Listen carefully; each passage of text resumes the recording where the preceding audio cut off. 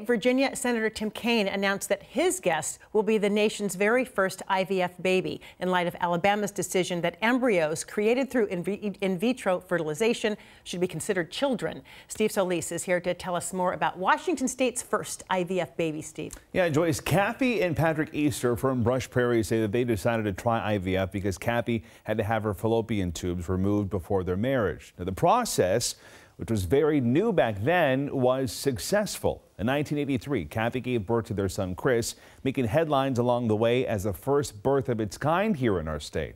Both Kathy and Patrick say that Chris is not only their son, but also their best friend, and that he gave them the chance to leave a namesake behind. With Alabama's decision to give embryos personhood, Kathy says that we are opening doors to questions we cannot answer. I'm in my 70s now. What would I do with a frozen embryo? And what would happen to that embryo if I were to die tomorrow? Who inherits the embryo? What are the rights of that? You know, that's an embryo. If you go the way Alabama's going, I'm going, okay, that's going to come into a lot of things that we can't answer and we shouldn't have to.